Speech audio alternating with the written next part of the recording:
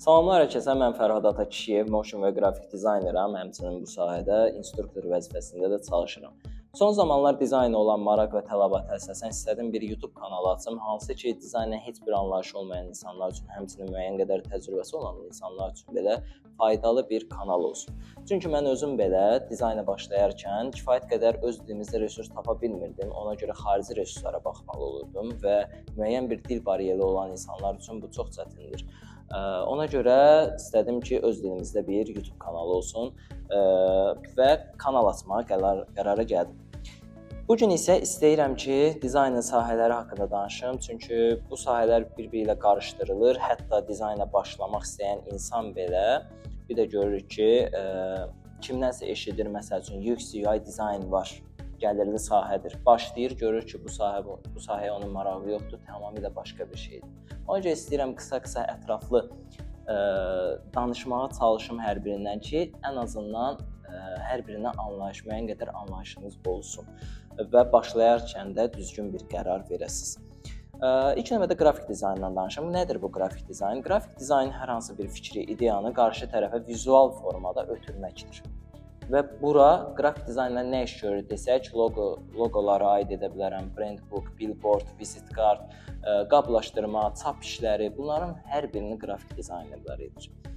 Növbəti demək istəyirəm motion dizayndır. Motion dizayn isə artıq yenə fikri qarşı tərəfə ötürür, artıq daha geniş şəkildə, yəni hərəkətləndirilmiş formada ötürülür. E, və statik dizayndan bir növ dinamik dizayna keçid edilir. Bura nəyə aid edə bilərəm? Televiziyada qarşımıza çıxan reklamlar, video çarxlar və yaxud da ə, e, həmçinin digitalda qarşımıza çıxan reklamlar, videolar ə, e, bura misal gətirə bilərik. Ə, e, növbəti demək istədiyim web dizayndır. Web dizayn deyəndə UX UI termini çıxır qarşımıza, iki hissəyə bölünür. Ə, UX dizaynerlər araşdırma aparır. Nə üzrə araşdırma? İstifadəçi istifadəçi üçün hər hansı bir veb sayt ola bilər, mobil tətbiq ola bilər onun rahat istifadəsini təmin edir UX dizaynerlər. UI dizaynı isə həmin veb saytın və yaxud mobil tətbiqin dizaynını təmin edirlər və bu UX UI dizaynerlər sayəsində hər hansı bir səhifə yaradılır və yaxud da mobil tətbiq qurulur. Təbii ki də proqramist də burada kömək göstərir, amma mən hal-hazırda dizayndan danışıram.